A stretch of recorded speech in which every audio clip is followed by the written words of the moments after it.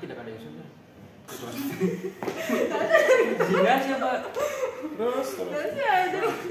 12 akuntansi salam kompeten.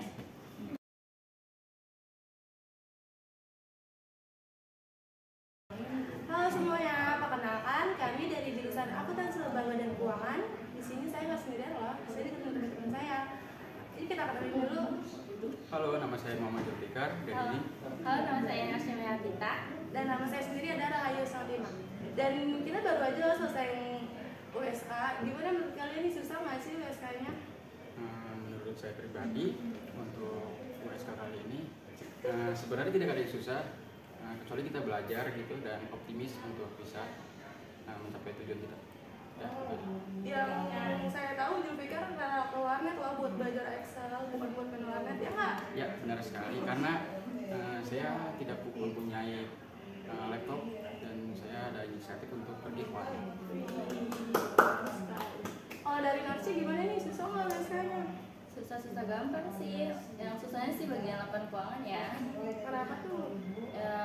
Pertama ya angkanya tuh mi- nominalnya banyak banget kayak miliaran lah.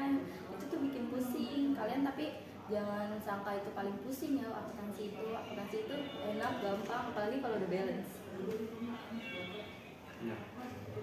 Tapi kan bukannya balance sebelum tentu benar. Tapi kalau misal kalau nggak balance itu pasti salah juga.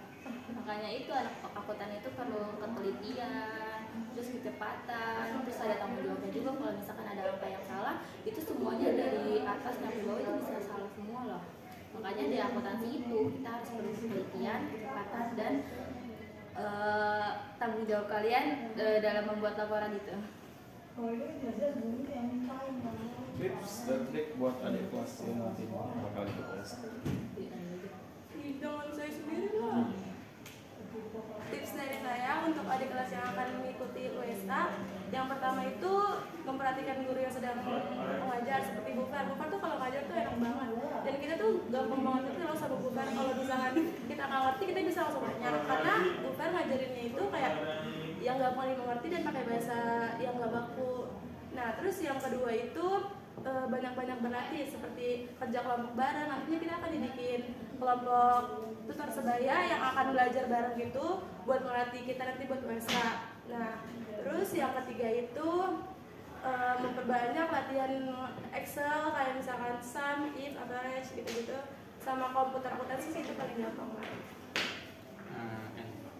tips and dari saya untuk kelas 11 nanti adalah eh, banyak-banyak belajar aja untuk dari sekarang karena apa namanya USK itu perlu latihan yang sangat panjang. Jadi eh, jadi kalau ada guru yang menang kan kita harus perhatikan dengan baik. Itu saja dari saya.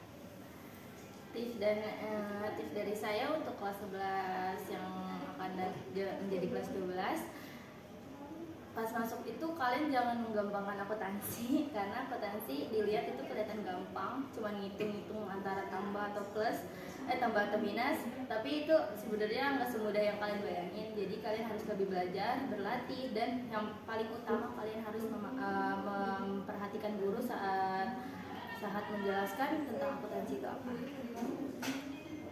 Demikian sharing session dari kami. Semoga kita ketemu dalam kondisi yang lebih baik lagi 12 akuntansi Salam kompeten.